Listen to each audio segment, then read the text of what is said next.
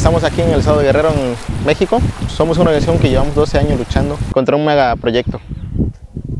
Y pedimos desde aquí al gobierno hondureño una investigación independiente, eficaz, que responda a las demandas de justicia de la familia de Berta Cáceres y de la COPIN. También pedimos la cancelación de las presas por las cuales estaba luchando nuestra compañera Berta Cáceres. Desde esos pueblos en resistencia le mandamos también un saludo solidario a los compañeros de Honduras que resisten contra los megaproyectos. Eh, compañeros, no, no se desanimen, vamos a estar con ustedes desde aquí, vemos a Honduras.